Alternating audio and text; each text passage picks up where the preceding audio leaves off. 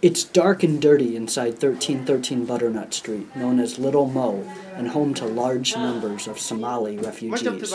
It's a place so bad that lawyers are suing management on behalf of everybody in the building.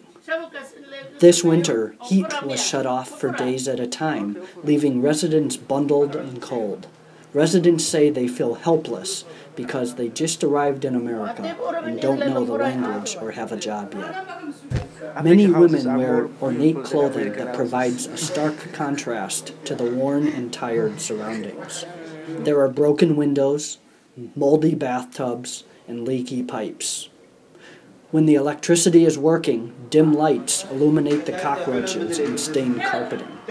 The residents throw ornate rugs over the filthy floors, but that doesn't keep out the vermin, which leaves some tenants covered in bedbug bites.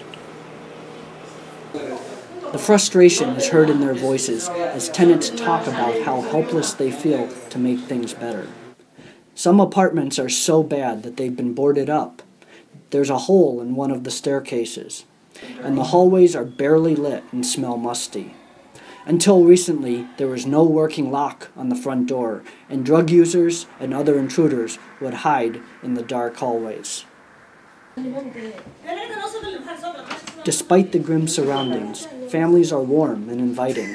They welcome us into their apartments to share their frustrations. They hug their children tight and try to make best of a situation that few Americans have endured.